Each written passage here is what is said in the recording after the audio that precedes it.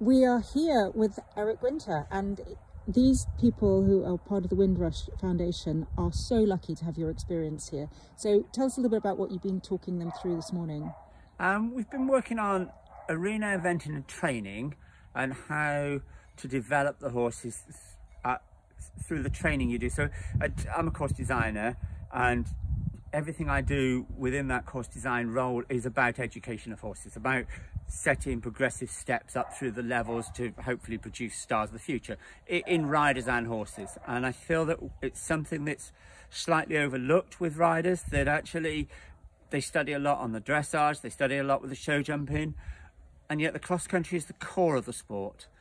And they don't really understand it. And I don't see how as a group of competitors that, that, that's the the main part of it that you can answer a question if you don't understand the question so for them to understand my thought processes about it about how i create horses to travel forwards and then look at their control look at their balance look at their rider position i think that's really important and and really to help them understand that process it was really interesting this morning because you you set up a, what became a treble effectively but at no stage did you talk about the, the pacing or the striding through that. You were very keen to focus on the way the horses were travelling. I think that balance of rider and balance of horse, the actual distance between two fences is not that important. Riders can adjust as long as they learn to adjust. Um, the sport comes out of hunting out of um, it's called military in, in Europe. And, and that's because it came out of military guys taking packages across country and, and delivering letters. And that's about crossing the country. And the country when two hedges were put out um, in the country it wasn't put out because that was a level two stride distance or a level three stride distance. It was put out because two carts could pass. And so it's important to educate your horses to be adjustable and to be quick and, and to be quick in their shoulder and the way the horse is reacting. For sure quick horses that learn to jump and learn to think for themselves and riders that learn to stay in balance are much safer. At the core of safety it's not deformable fences. It's not um, technology that helps horses when they're in trouble. It's trying to keep horses out of trouble and trying to keep riders that have an ability to keep their horses out of trouble and can train their horses to be reactive and help the rider and the rider to be able to help the horse. So it's been really interesting here this morning watching the various exercises that you've set up, or actually, to be fair, you didn't even set them no, up, did you? No, riders did, yeah. Yeah, so yeah. what were you wanting the riders to think about? I wanted them, it's very difficult in an arena situation to set up uh, exercises that are relevant to cross country.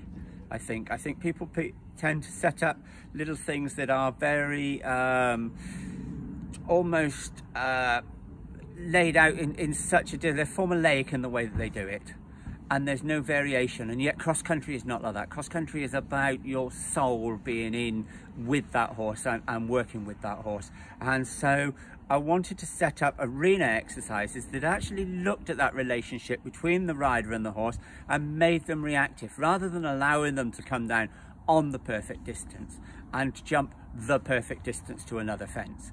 To actually make them mix it up. So they came in a big pattern and then had to shorten. They came in a slower pattern and had to lengthen. So the riders had to be much more uh, as part of the horse where where they really use their eye and their instinct to trust that to educate the horse and, and for them to work with the horse. And, and that's where cross country should be, I think, in that relationship between horse and rider more than anything else. You know, as a show jumper or a dressage rider, you can really train that.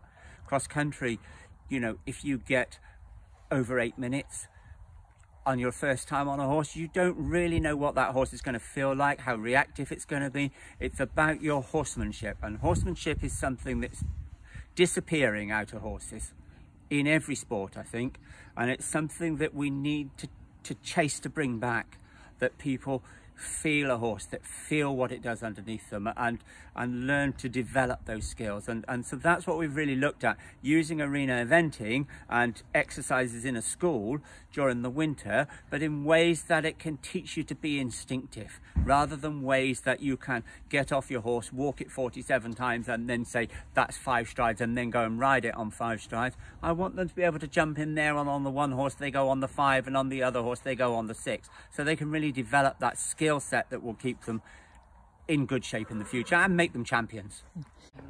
What was really interesting here was with the same fences, but just by slightly changing their angle or their height, you could be working either with a, a novice five-year-old or an advanced um, three-star horse. That's the same when we course design. You know, when, when I'm course designing, there's a progression, there should be a progression between each level. That um, there are certain fences that, you know, the, the run into the water in a 90 centimetre class is very relevant to the horse that jumps the log into the water with a 180 drop at a five-star competition. You know, it has to start there. If you try and miss out a step, that always leads to, to problems. Actually, it's about, it's why it's important for course designers to stay at the level because those levels should be progressive and they should build a whole picture that trains a horse to be everything you want it to be at championship level. I always think that at, at the core, my job is to create horses that are confident and positive and enjoy their job and look forward to going cross country and are good at it. And that's about education. And it, it's interesting you say you are talking about the championship horses. Of course, not, not every horse is going to make it there, and you and, and as a because these young riders need to learn. I heard you talking to them this morning about understanding the the maximum capability of each horse that they're on, and there will be some that they will be disappointed by, and four star may be their limit, or even three star may be their limit. Doesn't make them bad horses. You know, to me, it um, a horse doesn't know. You know, people say, oh, he's so happy he's a champion. Actually, he's not that fussed whether he's a champion or he's, but if he's enjoying it, nothing gives me more pleasure than when we sell a nice horse to somebody who goes out and writes us a letter after three years that they've had fantastic fun jumping 90 centimetres with it.